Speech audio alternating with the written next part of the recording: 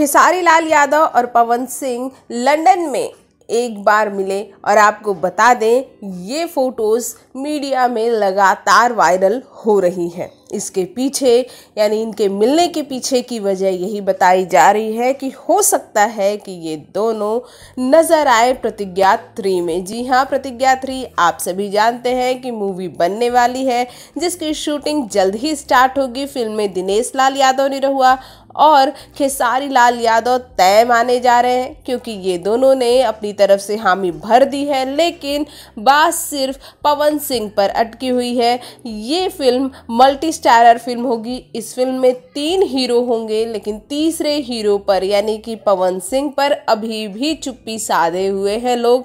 पवन सिंह भी साधे हुए हैं। ये बात नहीं है कि इनके पास ऑफ़र नहीं गया है। ऑफ़र इस फ़िल्म का गया हुआ है, लेकिन अभी तक पवन सिंह ने कुछ भी नहीं कहा है।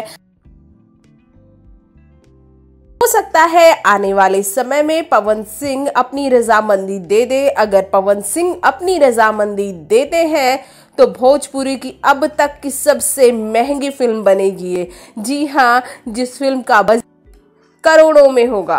क्योंकि आप ऐसे भी अंदाज़ा लगाएँगे तो ये तीनों स्टार जिस फ़िल्म में होंगे, उनकी फ़ीस ही इतनी होगी, वो करोड़ों में जाएगी। और अब बात अगर आप ये कहेंगे कि क्या इससे पहले कोशिश नहीं हुई इन तीनों को साथ मिलाने की तो हम आपको बता दें कि इससे पहले कई मरतबा, जब परिवार फ़िल्म बन रही थी, जो कि निरहुआ की बहुत ही फ़ेमस फ़िल्म है, परिवार टू बनने की बात हुई थी, तभी भी इन दोनों खेसारी और पवन को ऑफ़र किया गया था, लेकिन ये दोनों फ़िल्म करने से इनकार कर दिए, क्योंकि उस वक्त इन दोनों के रिश्ते जो थे बहुत ही ज़्यादा तलखियों वाले थे।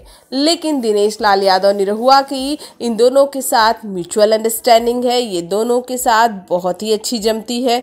और दोनों ही दिनेश लाल यादव निरहुआ को अपना बड़ा भाई मानते हैं, इसलिए इस बात पर हमने भी कल एक वीडियो बनाया था और आज हम इसलिए भी बना रहे हैं क्योंकि लोग इन्हें देखना चाहते हैं। साथ ही छठ के गीतों को लेकर पवन सिंह के फैंस के बीच बहुत निराशा है और पवन सिंह के फैंस चाह रहे हैं कि एक कोई ना कोई गाना तो ज़रूर आए। इसलिए अपील भी की जा रही है कि एटलीस्ट एक गाना तो छठ का आना ही चाहिए पवन सिंह का। देखिए क्या होता है, क्योंकि पवन सिंह अभी मूड में नहीं है और पवन सिंह का मूड बनने में टाइम लगता है। भोजपुरी जगत की हॉट और मसालेदार गॉसिप के लिए हमें सब्सक्राइब करना बिल्कुल ना भूलें।